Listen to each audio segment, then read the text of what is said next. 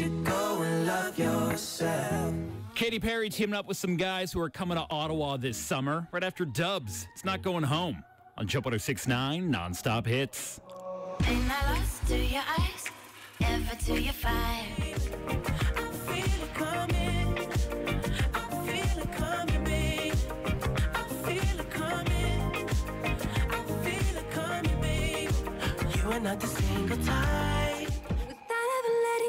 Letting you know. Jump 1069, I'm Johnny Novak, and I am super excited because Migos coming to RBC Blues Fest on July 13th. And here they are teaming up with Katy Perry. Ryan on Twitter wanted to hear this one. It's Bon Appetit on Jump 1069 nonstop hits.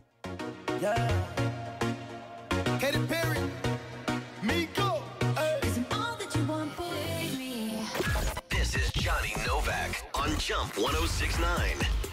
Apparently, the two guys on this next song hate each other. So a few days ago, Party Next Door unfollowed Zayn from all his social feeds and deleted any reference to him being on this song, even off his Wikipedia page, which is a little bit more difficult to do.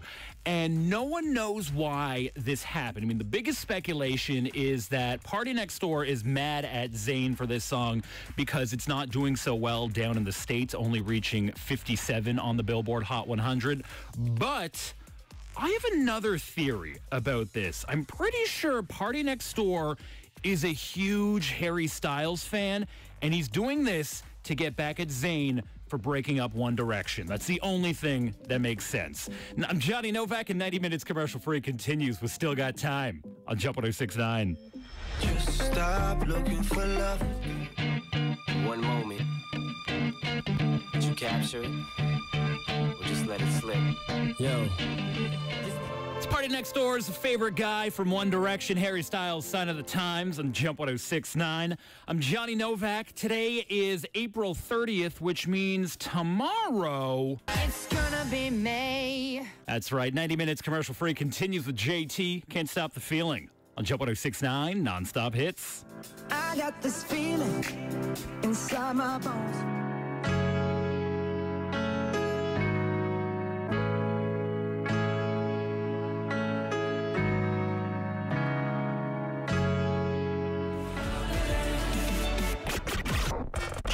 Radio. Ottawa's Jump 1069.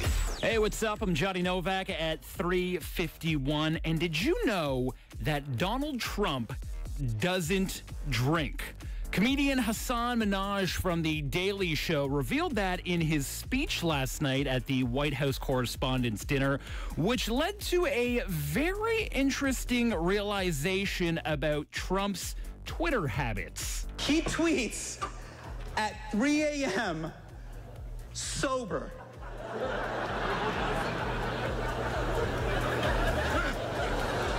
Who is tweeting at 3 a.m. sober? Donald Trump, because it's 10 a.m. in Russia. Those are business hours. It all makes sense now. Not even its commercial free continues with Bruno Mars. That's what I like on Jump 1069.